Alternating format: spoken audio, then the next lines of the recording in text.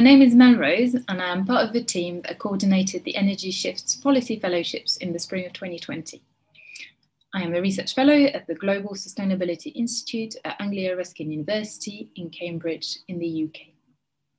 This video is about how you can ensure that citizen engagement is at the heart of your energy project. Citizen engagement has become a key aspect of European energy policy. For example, the European Green Deal states that citizens should be directly involved in the design of policy directions. And we know that citizen engagement will continue to feature in upcoming Horizon Europe funding calls. The Energy Shifts Live Energy Policy Challenges report compiled key policy challenges facing energy policy workers across Europe, and we identified citizen engagement as a key theme. The report discusses a range of questions, including the role of local authorities in engaging citizens and including citizen dialogue in implementing regulatory frameworks. But what is citizen engagement and why is it important? Citizen engagement can be defined in many ways, which can sometimes make it tricky to know where to start with it.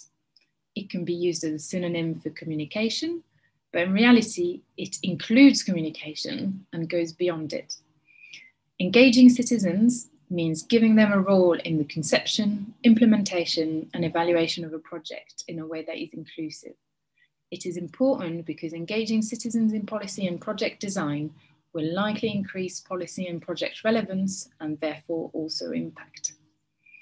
However, with many different approaches to citizen engagement, it can be challenging to know how to create and implement a process that is inclusive and meaningful to all involved. So I'd like to share three reflections to help you get started with citizen engagement. They concern timing, acting, and picturing citizens. In terms of timing, engage citizens early on in the process of designing a policy or a project. This will give them an opportunity to share their needs and wants and to help you identify what they see as the problem being.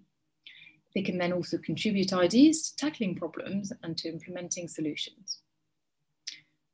However, listening on its own is not enough. Think ahead and communicate how you will be acting on this listening exercise and how you will take concerns and ideas forward. This will help to build trust between the different parties, but be aware that it requires time and resources. And finally, build a picture of the citizen you're engaging. Remember that communities are diverse and with a range of interests.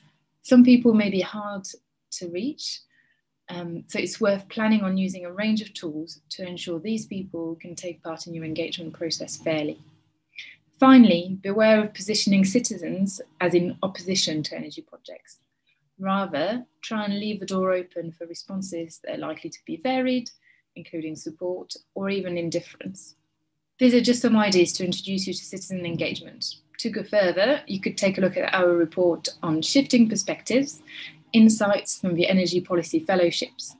It has a dedicated section uh, on citizen engagement and draws on the experience of seven policy workers in our Policy Fellowship programme. We discuss the different ways that citizen engagement can be defined and share the practical experiences and social science and humanities solutions that the policy workers discussed with social science and humanities researchers. And for more Energy Shifts resources, visit our website.